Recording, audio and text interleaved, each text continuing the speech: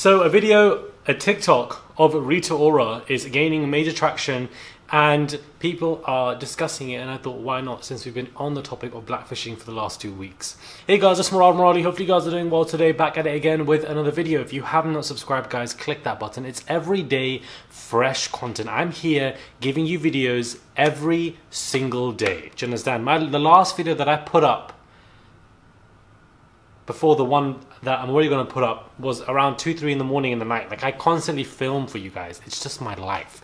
So subscribe, click that button and let's get into this. So Rita Ora is gaining some traction, some critique. You know, a lot of people have, there's always this discussion of, is she a blackfish? Is she not a blackfish? You know, was she trying to do stuff? This word blackfish, you know. Uh, people just be using it on, on everyone and, and anyone. And um, I do feel like she's tapped into that role um, this particular interview on the Breakfast Club with Charlamagne, of course, Charlamagne was like, you know, where are you from? Are you black? Like, uh, where is Albania? Of course, being ignorant, because, you know, let's not lie, a lot of Americans are ignorant. They don't have much geographical knowledge or understanding of countries outside of America. Um, especially in Europe, that you just, like, you don't know the name of a country. It's a bit interesting.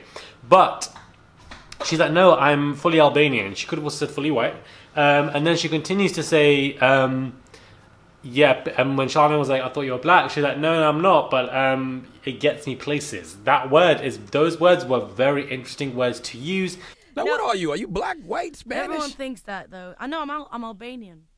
I, I, don't even know what that is. it's Eastern European. Okay. So it's like, um, basically, it's an Albanian person. I mean, there's a lot of us here in New York. What do you mean? We're all over the place. I thought you had some black in you when I said when I heard that you love Tabasco sauce. Yeah, no, I might as well be. No, a lot of people think that, but you know, because I like that. It gets it gets me uh gets me places. You know what they want and it gets me places. So I think the understanding and the acknowledgement that if you look a certain aesthetic in a way, you can, you know, enhance your career, open more doors, people can speak to you, you get more collaborations, then, you know, what are you trying to do? Is there some kind of, you know, plan devised before you put out your singles? Now, you know, she I believe she has worn braids here and there and has tried to go for a certain aesthetic and look. And of course, if you know that it gets you places, why would you not tap into that role and of course, you know, open more doors for yourself and create more traction and thus create more money? That's one side of the coin.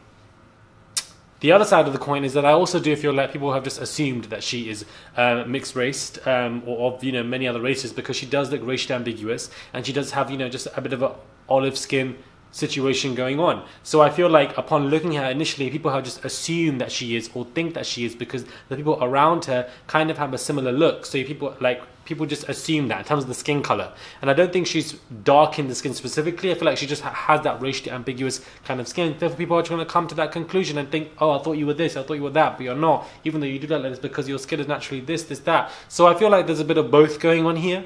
Um, I do think perhaps there could be some blackfishy stuff going on there, especially with the way she's changed her looks and the acknowledgement of it gets me places, which is obviously very scary and a little bit weird and, and wary the way somebody's saying it. But I also do feel like um, a part of her just naturally looks a certain way, regardless. People would just assume that anyhow.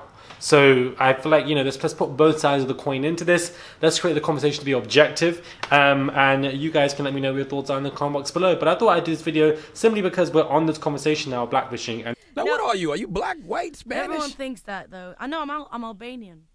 I, I don't even know what that is. it's Eastern European. Okay. So it's like um, basically it's an Albanian person. I mean, there's a lot of us here in New York. What do you mean? We're all over the place. I thought you had some black in you when I said when I heard that you love Tabasco sauce.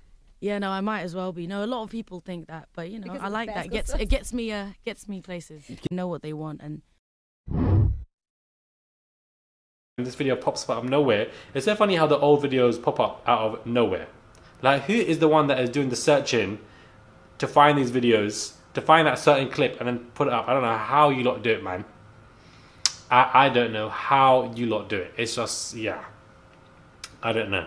Anyways, let me know what your thoughts are, guys. Subscribe to the channel. Subscribe to the channel subscribe to the channel. Click that button guys. Let's try to get to 230 subscribers. 230,000 subscribers. Let's try to get to 230,000 subscribers. And I will catch you guys soon for another video